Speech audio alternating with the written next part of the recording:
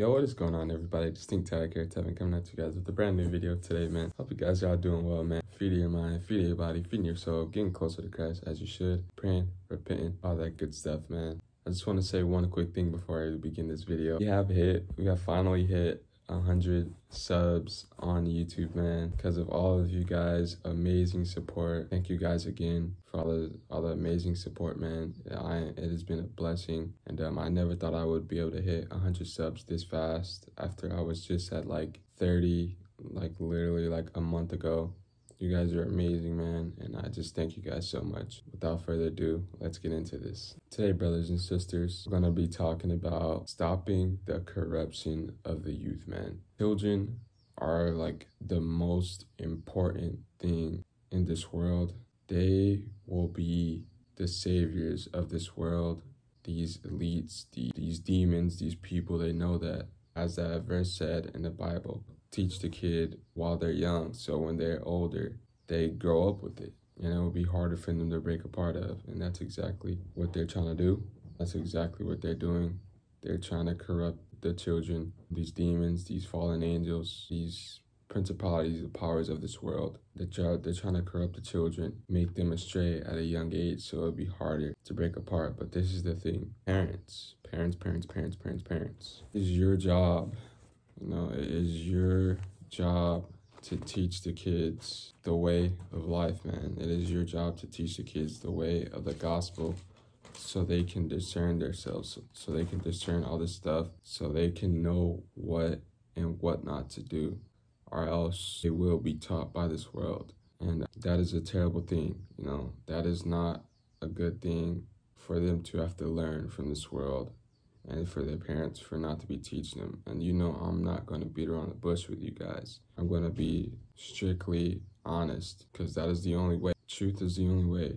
And um, there's no need to lie and beating around the bush because that will only make things worse. So I'm always going to tell you guys the real. And um, the real is, is your fault, parents.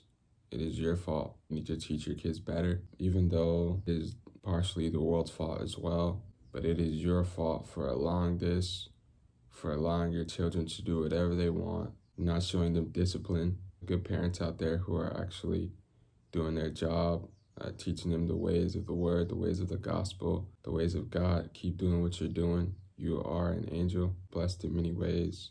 God is proud of you. God is so proud of you. And um, yeah, just keep doing what you're doing. But anyways, guys, um, I'm going to read a couple of scriptures about what it says about corruption. Jeremiah verse 8 through 8. How do ye say, We are wise, and the law of the Lord is with us? Lo, certainly, in vain made he it. The pen of the scribes is in vain. Then we got Romans chapter 12, all, all King James Version, by the way. And be not conformed to this world, but ye transformed by the renewing of your mind, and that ye may prove what is that good and acceptable and perfect will of God. And the only way you can do that is by praying, repenting, reading the good book, reading the gospel. There is no other way for you to do that. You cannot learn what is good and what is evil from this world. It will just lead to confusion. You cannot learn all that from the flesh. It will just lead to confusion. I mean, God has given you a morality, conscience for all that, you know, to discern all that. But true discernment comes from the book, from reading the book, from praying, from learning Him, learning His Word, learning His goodness. That is the only way. You cannot learn that from anything else, man. Yeah, we're going to continue on with Second Corinthians chapter 11, verse 13 through 15. And for sure are false apostles, deceitful workers, transforming themselves into the apostles of Christ. So I'm telling you guys, I know it hurts to say, man, but, you know, BLM, LGBTQ, all of that stuff, all of that worldly stuff that they are pushing our way, that you know, you know in your heart that it is not right to do, man. Stop following these things. Stop it. It will only get worse if we keep following the world. Listen to God, man. Listen to that discernment. Feel the Holy Spirit within you and follow it, man. Follow it. That's all I gotta say about that. I don't want to really say anything else about it because I'm not trying to trigger anyone on this on these videos. But I just really want you guys to know, uh, to see what they're doing, man. Open your eyes.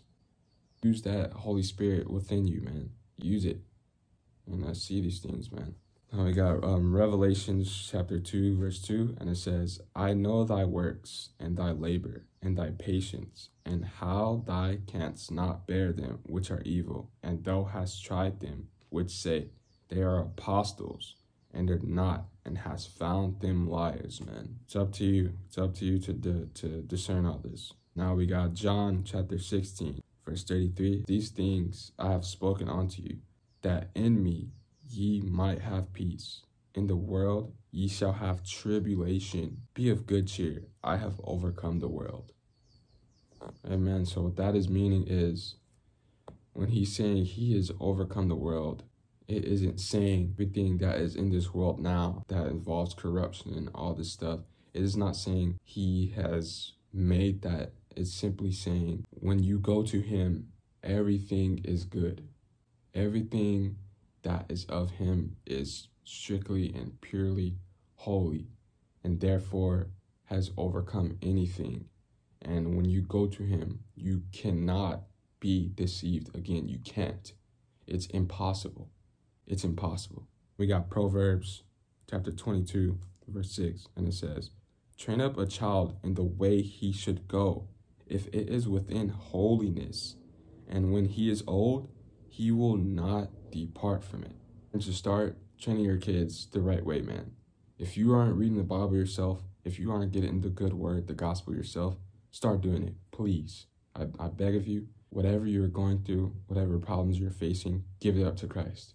Right now, at this very moment, pray right now. I want you to pray, get on your knees right now and pray to Him. Let it all out to Him right now. Get whoever is around you, forget them if it's your children, allow them to pray with you. Whoever, allow them to pray with you. Get on your knees, whatever. Hold hands and pray together to the Holy, Almighty Jesus Christ, man. And it will give, I promise you, I promise you, okay, it will get better. Um, it will take time, you know, because anything, no one, nothing's perfect, but it will get better. I promise you. Just do it. Just do it. Then we also got Ephesians chapter 6, verse 4, and it says, Parents, Provoke not your children to wrath, but bring them up in the nurture and admonition of the Lord. So don't bash your kids for their mistakes. Don't put your stresses and everything that you're dealing with onto them, but nurture them.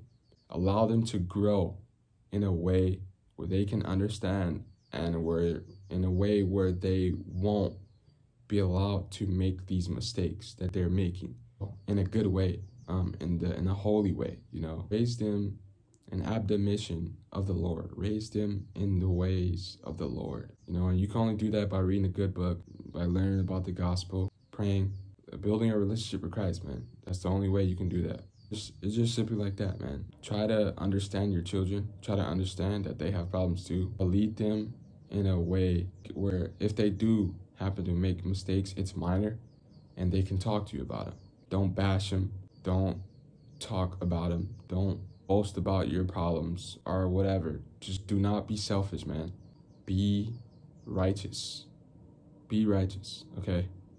Help your children in a good way and stop it with the selfishness, okay? That's all I got to say about that.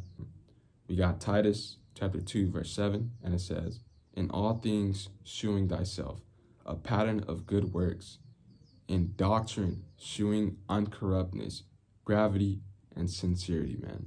We got Proverbs chapter 13, verse 24, and it says, Parents that spareth their rod hateth the, ch the child, but they that loveth the child chastise the child betimes.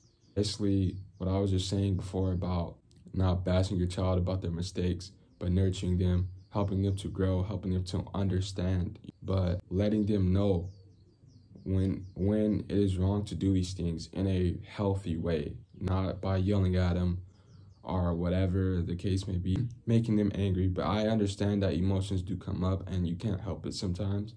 but don't beat around a bush with them. Give them the truth, but give them give them the truth in a healthy, positive, good way, in a way of the Lord. And that's basically all I got to say about that. Got um, Proverbs chapter 29, verse 15. The rod and reproof give wisdom, but a child left to themselves bringeth their parents to shame.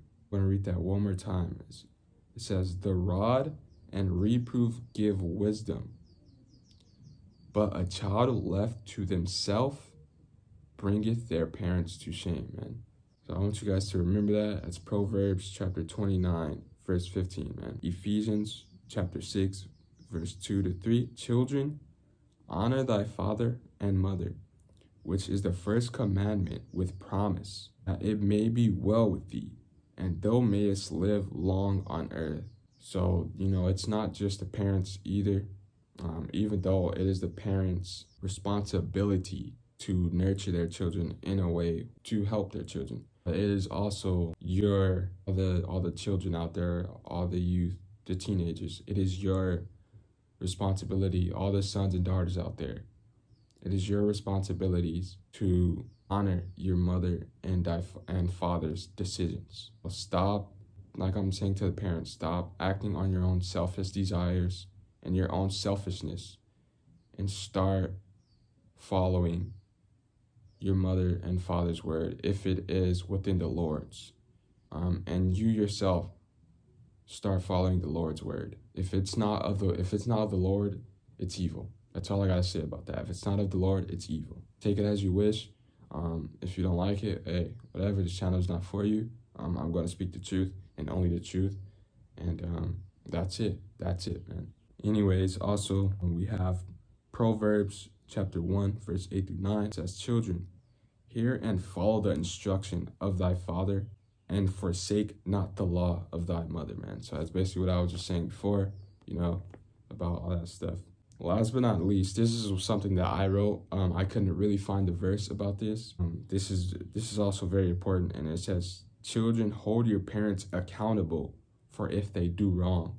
So if you know that your parents are teach you the wrong way, hold them accountable tell them um, if, if you can't if you can't tell them and if you know that things will go wrong if you truly know you know if you truly know that things will go wrong talk to someone about it talk to someone else about it that you know is holy that is of christ and or, or pray pray to god man don't just start following the world and doing what they're doing do it your own way pray to god if you can't talk to anyone else pray to god you know um, he is there with you and he will always be there with you. Um, you know, there's there's all there's always ways to deal with it in the Lord, through the Lord. You know, you just have to find it.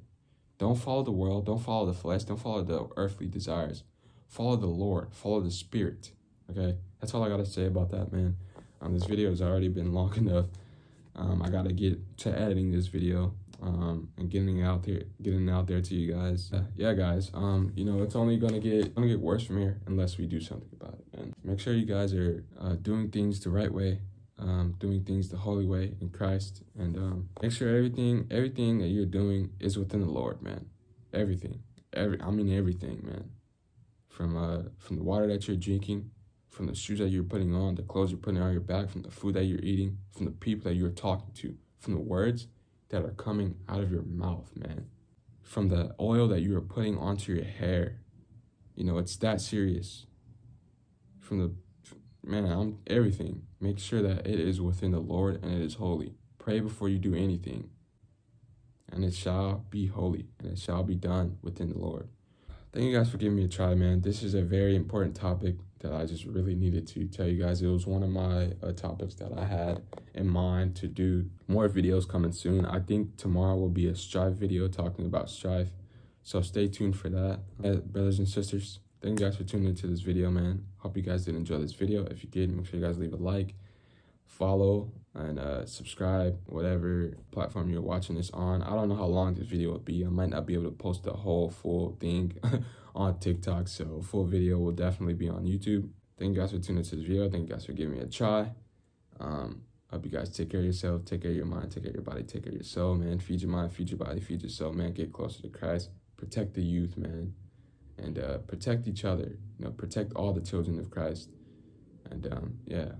Anyways, guys, love you guys all. It's been Distinct Tyrac, Tevin, and I'm out here.